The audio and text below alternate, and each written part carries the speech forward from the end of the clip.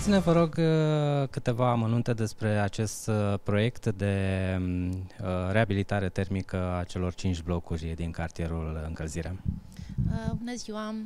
În momentul de față a fost semnate contractele de execuție pentru cele cinci blocuri care se află în cartierul Încălzire. Este vorba de blocul numărul 1, blocul numărul 3, blocul numărul 8 și 10 din, de pe strada Plantației și blocul, numărul, și blocul B de pe strada Pinilor urmând ca în luna august să înceapă execuția acestor uh, lucrări de reabilitare. În ce constau uh, lucrările de reabilitare?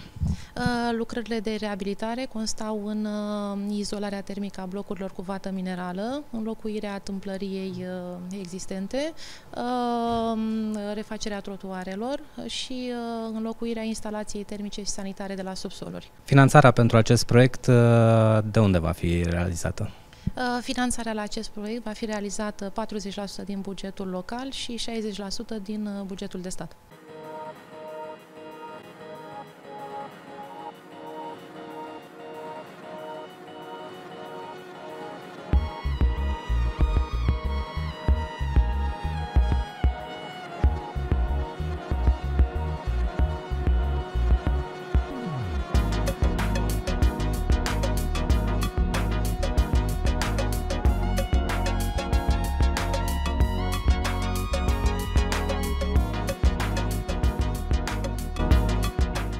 Consider că este un lucru bun că vor fi... Este uh, excepțional să uh, placați toate blocurile din uh, prejurul cartierului pentru că e mult mai eficient, căldură, umezeală, blocurile o să apară mult mai estetic, mult mai frumos, adică cum sunt și în alte orașe.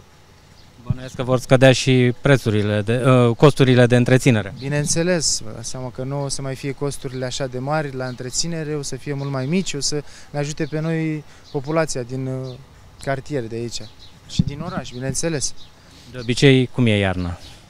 De obicei este frig, dacă nu este izolat, uh, vă dați seama că este, se, toată căldura se, uh, evacu- se dă afară, iar dacă este placat, toată căldura rămâne în interior. Este un lucru benefic pentru noi.